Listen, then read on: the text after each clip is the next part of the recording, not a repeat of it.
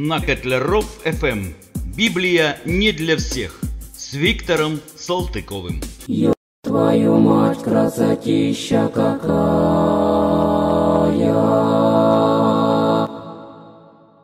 Всем привет! Это условно вторая часть книги Библии «Исход», из которой мы узнаем о многолетнем путешествии древнего народа Израиль по пустыне. Я сначала хотел просто прочесть в лицах, но чувствую, от комментариев удержаться будет сложно. Надеюсь, вы меня поймете и простите. Итак, глава 15. Когда вошли кони фараона с колесницами его и с всадниками его в море, то Господь обратил на них воды морские, а сыны Израилевы прошли по суше среди моря. И взяла Мариам, пророчица, сестра Ааронова, в руку свою тимпан. И вышли за нею все женщины с тимпанами и ликованием. Под словом тимпан подразумевается древневосточный ударный музыкальный инструмент, что-то похожее на бубен. Но интересно еще одно значение слова тимпан, относящееся к архитектуре. В архитектуре тимпаном называют углубленную часть стены над входом. Вспомните э, масонские знаки над парадными входами и колоннадами. Может это совпадение? Надо подумать. Ну, вернемся к морям. И воспела Мариам перед ними. Моисей, его брат Аарон, теперь Мариам, исполняющая шаманские танцы с бубном. Похоже, там все семейство Моисеева определило на многие поколения вперед себе теплое местечко в обществе. Продолжаем. «И повел Моисей израильтян через Черное море». А мы помним, что под Черным морем подразумевается Красное море. И они вступили в пустыню Сур, и шли они три дня по пустыне и не находили воды. Подумать даже страшно, какой огромный литературный труд был бы, если бы в Библии описывалось каждые три дня из сорокалетнего путешествия евреев по пустыне. Пришли в Мерру и не могли пить воды в мире, ибо она была горька. И возроптал народ на Моисея, говоря, «Что нам пить?» Моисей возопил Господу, ну, такая, по-видимому, угроза нависла в то время над Моисеем, что он не просто в молитве обратился к Господу, а возопил, ему наверняка страшно было. И Господь показал ему дерево, и он бросил его в воду, и вода сделалась сладкою. Так Бог дал народу устав и закон, и там испытывал его, и сказал, если ты будешь слушаться гласа Господа Бога твоего и делать угодное перед очами Его, и внимать заповедям Его, и соблюдать все уставы Его, то не наведу на тебя ни одной из болезней, которые я навел на Египет, ибо я Господь, Целитель твой. Вот еще одна регалия Господа, Целитель. Правда, во многих случаях сначала заболеватель, а потом «Тадам! Целитель-спаситель!» И пришли в Елим. Там было 12 источников воды и 70 финиковых деревьев, и расположились там станом при водах. Я сначала удивлялся такой скрупулезности и детализации в священных писаниях, а потом понял, у евреев все посчитано. Глава 16. И двинулись из Елима, и пришло все общество сынов Израилевых в пустыню Син, что между Елимом и между Синаем, в пятнадцатый день второго месяца по выходе их из земли египетской. Если бы евреи тогда знали, что до завершения путешествия им оставалось 39 лет и 10 с половиной месяцев, даже не представляю, что бы они сделали с Моисеем. И взроптало все общество сынов Израилевых на Моисея и Аарона в пустыне, и сказали им сыны Израилевы, Ой, если бы мы умерли от руки Господней в земле египетской, когда мы сидели у котлов с мясом, когда мы ели хлеб досыта, ибо вывели вы нас в эту пустыню, чтобы все собрание это уморить голодом. И сказал Господь Моисею, «Вот я одождю вам хлеб с неба, и пусть народ выходит и собирает ежедневно, сколько нужно на день, чтобы мне испытать его, будет ли он поступать по закону моему или нет. И в шестой день пусть заготовляют, что принесут, и будет вдвое против того, поскольку собирают прочие дни. И сказали Моисей и Аарон всему обществу сынов Израилевых. Вечером узнаете вы, что Господь вывел вас из земли египетской, и утром увидите славу Господню, ибо услышал Он ропот ваш на Господа, а мы... Что такое? Что ропщите на нас? Узнаете, когда Господь вечером даст вам мясо в пищу, а утром хлеба досыта, ибо Господь услышал ропот ваш, который вы подняли против Него. А мы что? Не на нас ропот ваш, но на Господа. В общем, я не я и хата не моя. Вечером налетели перепелы и покрыли стана, поутру лежала роса около стана. Роса поднялась, и вот на поверхности пустыни нечто мелкое, круповидное, мелкое, как иней на земле. И Моисей сказал им, «Это хлеб, который Господь дал вам пищу. Вот что повелел Господь. Собирайте его каждый постольку, сколько ему съесть, по гамору на человека, по числу душ, сколько у кого в шатре собирайте». Гамор – это такая древняя мера сыпучих и жидкостей. Это чуть меньше 2,5 литров объема. И сделали так сыны Израилевы, собрали кто много, кто мало, и мерили гамором. И у того, кто собрал много, не было лишнего, и у того, кто мало, не было недостатка. Каждый собрал, сколько ему съесть. И сказал им Моисей, «Никто не оставляет всего до утра, но не послушали они Моисея и оставили от всего некоторые до утра, и завелись черви, и оно восмердело, и разгневался на них Моисей. Да, вот так и в наше время, и не только евреи, многие человеки нагребают от страха, жадности или от скудоумия своего больше, чем могут употребить. Особенно это отражается на водоемах и лесах, где животных с каждым годом все меньше. В шестой же день собрали хлеба вдвое, по два гамора на каждого, и пришли все начальники общества и донесли Моисею. И он сказал им, «Вот что сказал Господь, завтра покой, святая суббота Господня, что надо печь, пеките, и что надо варить, варите сегодня, а что останется, отложите и соберите до утра». И отложили до до утра, как повелел Моисей, и оно не восмердело, и червей не было в нем. Чудеса, в общем, продолжались. И сказал Моисей, «Ешьте его сегодня, ибо сегодня суббота Господня. Сегодня не найдете его на поле. Шесть дней собирайте его, а седьмой день суббота. Не будет его в этот день». Но некоторые из народа вышли в седьмой день собирать и не нашли. И сказал Господь Моисею, «Долго ли будете ли вы уклоняться от соблюдения заповедей моих и законов моих? Смотрите, Господь дал вам субботу, посему Он и дает шестой день хлеба на два дня. Оставайтесь каждый у себя, никто не выходи из места своего в седьмой день. И покоился народ в седьмой день, и нарек дом Израилевых хлебу тому имя Манна. Она была как кориандровое семя, белое, вкусом же как лепешка с медом. Вообще с этой маной много всего интересного, но до сегодняшнего дня нет достаточно убедительного определения, что это была за манна. Но точно это была не та манная крупа, которая всем нам знакома с детства. Глава 17. «И двинулось все общество сынов Израилевых из пустыни Син в путь свой по повелению Господню и расположилось станом в Рефдиме. И не было воды пить народу, и жаждал там народ воды, и роптал народ на Моисея, говоря, «Зачем ты вывел нас из Египта, Уморить жаждой у нас детей наших и стада наших. Моисей возопил Господу и сказал, «Что мне делать с народом сим? Еще немного и побьют меня камнями!» И сказал Господь Моисею, «Пройди перед народом и возьми с собой некоторых из старейшин израильских, и жезл твой, которым ты ударил по воде, возьми в руку твою и пойди, вот я стану перед тобою там, на скале в Хариве, и ты ударишь скалу, и пойдет из нее вода, и будет пить народ.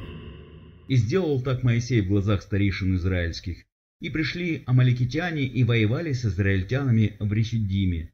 Моисей сказал Иисусу, «Выбери нам мужей и пойди сразись с амаликитянами.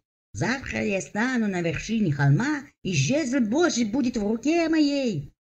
Это не тот Иисус из Евангелия, это просто тезка, соупадение, так сказать. И сделал Иисус, как сказал ему Моисей, и пошел сразиться с амаликитянами, а Моисей и Аарон и Ор взошли на вершину холма. И когда Моисей поднимал руки свои, одолевал Израиль, а когда опускал руки свои, одолевал Амалик. Но руки Моисеевы отяжелели, и тогда взяли камень и подложили под него, и он сел на нем, Аарон же и Ор поддерживали руки его один с одной, а другой с другой стороны. и были руки его подняты до захождения солнца. И не заложил Иисуса Малика и народ его острием меча. Глава 18 и услышал Иофор, священник Мадиамский, тесть Моисеев, о всем, что сделал Бог для Моисея и для Израиля, народа своего, когда вывел Господь Израиля из Египта. И пришел Иофор, тесть Моисея, с сыновьями его и женой его к Моисею в пустыню, где он расположился станом у горы Божьей.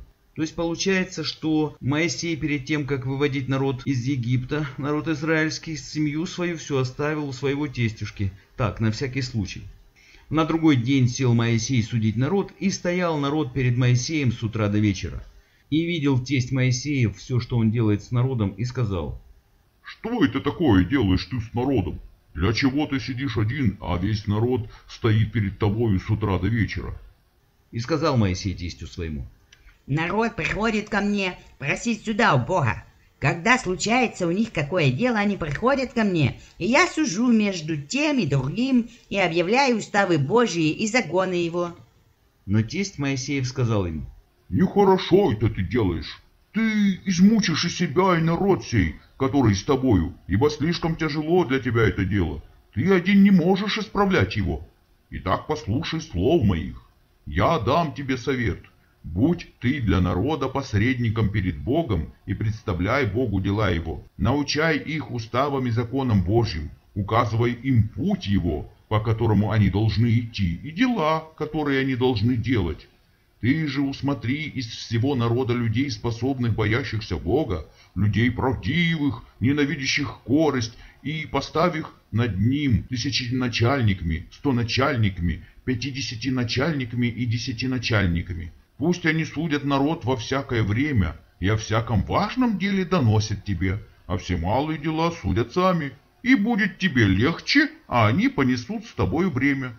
В общем, хорошее дело подсказал тестюшка Моисею. Вот так и появились чиновники-посредники. И послушал Моисей слов тестя своего и сделал все, что он говорил. И выбрал Моисей из всего Израиля способных людей и поставил их начальниками народа, тысяченачальниками, сто начальниками, пятидесяти начальниками и десятиначальниками. И судили они народ во всякое время о делах важных, доносили Моисею, а все малые дела судили сами. Глава 19. Третий месяц, по исходе сынов Израиля из земли египетской в самый день новолуния пришли они в пустыню Синайскую, и расположился там Израиль станом против горы. Моисей взошел к Богу на гору и возвал к нему Господь с горы, говоря, «Так скажи дому Иакову и возвести сынам Израилевым. Вы видели, что я сделал египтянам, и как я носил вас как бы на орлиных крыльях, и принес вас к себе. Итак, если вы будете слушаться глаза моего и соблюдать завет мой, то будете моим уделом из всех народов, ибо моя вся земля. Вы будете у меня царством священников и народом святым. Вот слова, которые ты скажешь сынам Израилевым. Ну вот, сказал и сделал, святее я народа и не видел. И сказал Господь Моисею, «Вот я приду к тебе в густом облаке, дабы слышал народ, как я буду говорить с тобою, и поверил тебе навсегда». И сказал Господь Моисею, «Пойди к народу и освети его сегодня и завтра. Пусть вымоют одежды свои, чтобы быть готовыми к третьему дню, Ибо в третий день сойдет Господь перед глазами всего народа на гору Синай, и проведи для народа черту со всех сторон и скажи, «Берегитесь восходить на гору и прикасаться к подошве ее. Всякий, кто прикоснется к горе, предан будет смерти. Рука да не прикоснется к нему, а пусть побьют его камнями или застрелят стрелою, и сошел Моисей с горы к народу и осветил народ, и они вымыли одежду свою.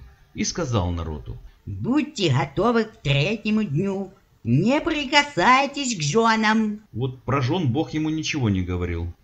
На третий день при наступлении утра были громы и молнии, и густое облако над горою, и трубный звук весьма сильный, и вострепетал весь народ, бывший в стане. И вывел Моисей народ из стана в сретение Богу, и стали у подошвы горы. Сретение – это значит встреча, то есть Моисей повел народ навстречу с Господом. Гора же Синай вся дымилась от того, что Господь сошел на нее в огне, и восходил от нее дым, как дым из печи, и вся гора сильно колебалась. Вот никакое природное явление не напоминает. Для жителей пустынных и равнинных местностей вулканическая деятельность – это редкость мистическая. И звук трудный становился сильнее и сильнее. Моисей говорил, и Бог отвечал ему голосом. Что говорил и что отвечал, история сия умалчивает.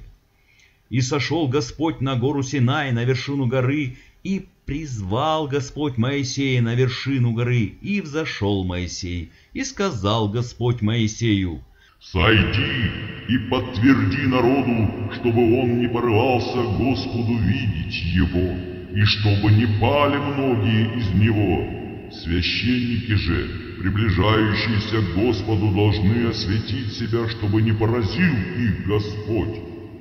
И сказал Моисей Господу, не может народ зайти на гору Синай, потому что ты предостерег нас, сказал, проведи черту вокруг горы и освети ее. И Господь сказал ему, «Пойди, сойди, потом зайди ты и с тобою Аарон, а священники и народ, да не порываются восходить Господу, чтобы не поразил их». Вон а как. Показался один народу. Моисей, значит, с брательником ушли в гору, потом вернулись, надули щеки. Ну, мы такое видали. Да. И сошел Моисей к народу и пересказал ему. Вот так вот. Типа хотите чаю с кренделями, тогда слушайте. И где же явление Господа народу? Два брательника, можно предположить, чтобы их свои же не кокнули, разыграли комедию. И вуаля, мы пророки, а вы плебеи. Глава 20. И изрек Бог все слова сии, говоря, «Я Господь Бог твой, который вывел тебя из земли египетской, из дома рабства». Ну и дальше идут 10 заповедей, так что времени не теряйте, записывайте. «Да не будет у тебя других богов перед лицем моим, да не делай себе кумира и никакого изображения того, что на небе вверху, и что на земле внизу, и что в воде ниже земли» не поклоняйся им и не служи им, ибо я, Господь Бог твой, Бог-ревнитель, наказывающий детей за вину отцов до третьего и четвертого рода, ненавидящих меня, и творящий милость. Стоп. То есть, получается, этот добрый Бог наказывает детей до третьего и четвертого рода, невинных детей за ошибки их родителей и прародителей и творящий милость до тысячи родов, любящим меня и соблюдающим заповеди мои. Не произноси имени Господа Бога твоего напрасно, ибо Господь не оставит без наказания того, кто произносит имя Его напрасно. Помни день субботний, чтобы светить его. Шесть дней работай и делай всякие дела твои, а день седьмой, суббота, Господу Богу твоему. Не делай вон и никакого дела ни ты, ни сын твой, ни дочь твоя, ни раб твой, ни рабыня твоя, ни скот твой, ни пришелец, который в жилищах твоих. Ибо в шесть дней создал Господь небо и землю, море и все, что в них, а в день седьмой почил. Посему благословил Господь день субботний и осветил его. Почитай отца твоего и мать твою, чтобы продлились дни твои на земле, которую Господь Бог твой дает тебе. Не убивай, не прелюбодействуй, не кради, не произноси ложного свидетельства на ближнего твоего, не желай дома ближнего твоего, не желай жены ближнего твоего, ни раба его, ни рабыни его, ни вала его, ни осла его, ничего, что у ближнего твоего. Весь народ видел громы и пламя, и звук трубный, и гору дымящуюся, и, увидев то, народ отступил и стал вдали. И сказали Моисею, Говори ты с нами, и мы будем слушать, чтобы не говорил с нами Бог, дабы нам не умереть. Вот так вот, типа, сами попросили. Моисей такой, по-видимому, говорит, ну чё, ща иду за Богом и всем вам не сдобровать. Так я иду. А народ такой, ладно, мы тебе и так поверим, а то мало ли чё. И сказал Моисей народу, Не бойтесь, Бог пришел, чтобы испытать вас, и чтобы страх его был перед лицом вашим, дабы вы не нагрешили. Стоял народ вдали, а Моисей вступил во мрак, где Бог. И сказал Господь Моисею, Так скажи сынам Израилевым, вы видели, как я с неба говорил вам? ну да, все видели, как он говорил с неба. Громы и молнии. Не делайте предо мною богов серебряных или богов золотых, не делайте себе. Сделай мне жертвенник из земли и приноси на нем все сожжения твои и мирные жертвы твои, овец твоих и волов твоих на всяком месте, где я положу память имени моего. Я приду к тебе и благословлю тебя. Если же же будешь делать мне жертвенник из камней, то не сооружай его из тесанных, ибо как скоро наложишь на них тесло твое, то осквернишь их. И не восходи по ступеням к жертвеннику моему, дабы не открылась при нем нагота твоя. И вот законы, которые ты объявишь им. Если купишь раба еврея, пусть он работает шесть лет, а в седьмой пусть выйдет на волю даром. То есть раб еврей у еврея. Вот для рабов евреев вот такие условия. Шесть лет он работает, а на седьмой может быть свободным. Да, интересно, а для неевреев какие условия? Если он пришел один, пусть один и выйдет, а если он женатый, пусть выйдет с ним и жена его. Если же господин его дал ему жену, и она родила ему сынов или дочерей, то жена и дети ее пусть останутся у господина ее, а он выйдет один. Но если раб скажет, люблю господина моего, жену мою и детей моих, не пойду на волю, то пусть господин его приведет его пред богов и поставит его к двери или к косяку, и проколет ему господин его ухо шилом, и он останется рабом его вечно. Вы это слышите? Господин может оставлять жену и детей в заложниках, а ты, пожалуйста, уходи во свояси, папаша. А если не захочет бросать жену и детей своих э, раб, то тогда он подходит и говорит, люблю тебя, господин мой, ну и жену свою и детей, так что давай я буду с удовольствием рабом твоим до конца своей жизни. Только проколи мне ушко шилом. Капец. Если кто продаст дочь свою в рабыни, то она не может выйти, как выходят рабы. Любящий Бог не отменяет рабство вообще, не отвергает рабство как позорное явление, а упорядочивает и регламентирует, а значит поощряет и приветствует. Если она не угодна господину своему, и он не обручит ее, пусть позволит выкупить ее, а чужому народу продать ее не властен, когда сам пренебрег ее. Если он обручит ее сыну своему, пусть поступит с нею по праву дочерей. Если же другую возьмет за него, то она не должна лишаться пищи, одежды и супружеского сожития. А если он сих трех вещей не сделает для нее, пусть она дойдет даром, без выкупа. Кто ударит человека так, что он умрет, да будет предан смерти. Тут принцип око за око.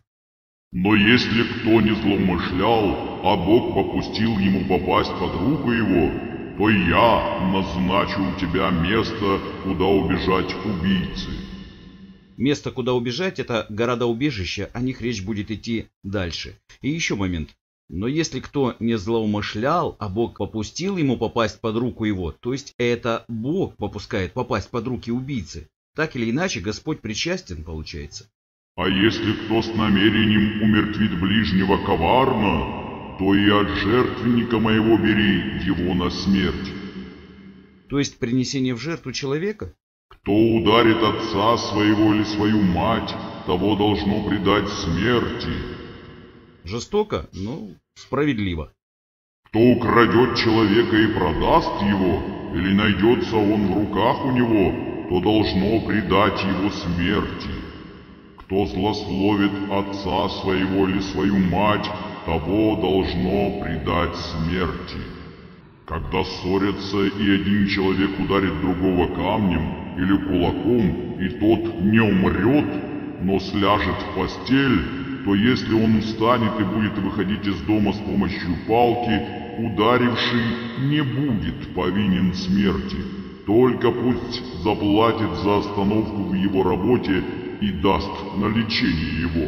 А если кто ударит раба своего или служанку свою палкою, и они умрут под рукою его, то он должен быть наказан.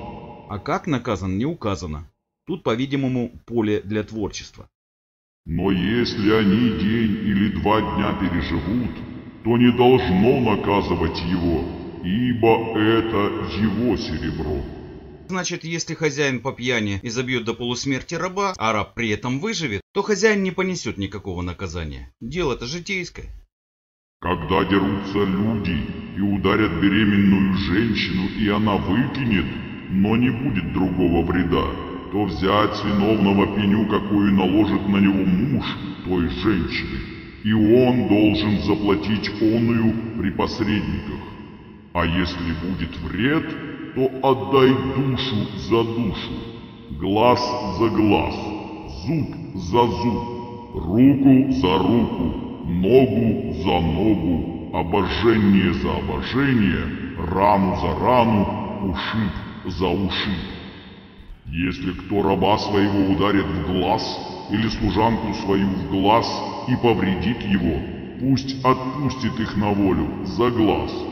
А если выбьет зуб рабу своему или рабе своей, пусть отпустит их на волю за зуб. Если вол забодает мужчину или женщину до смерти, то вола побить камнями и мясо его не есть, а хозяин вола не виноват. Но если вол бодлив был и вчера, и третьего дня, и хозяин его был извещен о сем, не стерег его, а он убил мужчину или женщину, то вола побить камнями и хозяина его предать смерти. Если на него наложен будет выкуп, пусть даст выкуп за душу свою, какой наложен будет на него. Сына ли забодает, дочь ли забодает, по всему же закону поступать с ним. Если вол забодает раба или рабу, то господину их заплатить 30 сиклей серебра, а вола побить камнями. Сикли – это шекели. 30 шекелей по тому библейскому курсу наверняка были большой суммой. Если кто раскроет яму, или если выкопает яму и не покроет ее, и упадет в нее вол или осел, то хозяин ямы должен заплатить, отдать серебро хозяину их, а труп будет его. Ну тут все понятно вроде и справедливо. Абрам вырыл яму, баран Исаака упал в яму и погиб. Абрам отстегивает Исааку серебро за барана, а барана забирает себе. Если чей-нибудь вол забодает до смерти вола у соседа его, пусть продадут живого вола, и разделят пополам цену его. Также и убитого пусть разделят пополам. А если известно было, что вол бодлив был и вчера, и третьего дня, но хозяин его не стерег его, то должен он заплатить вала за вала, а убитый будет его. В общем, подробно, доступно и лаконично Бог объясняет, как разрешать хозяйственные споры. Идем дальше. Если кто украдет вала или овцу, и заколет или продаст, то пять волов заплатит за вала и четыре овцы за овцу. Если кто застанет вора, подкапывающего, и ударит его так, что он умрет, то кровь не вменится ему. Но если взошло над ним солнце, то вменится ему кровь. Укравший должен заплатить, а если нечем, то пусть продадут его для уплаты за украденное им. То есть убийство вора ночью приравнивается к ненамеренному убийству, а днем убивать вора нельзя. Можно только взыскать с вора штраф или самого вора продать в рабство. Далее идет подробный разбор ситуаций, относящихся к уголовному и административному праву, так что если кому интересны подробности, можете прочесть, ознакомиться сами, а я сокращу, потому что впереди много еще интересного и удивительного. На Котляров FM. Библия не для всех. С Виктором Салтыковым. Твою мать, красотища какая!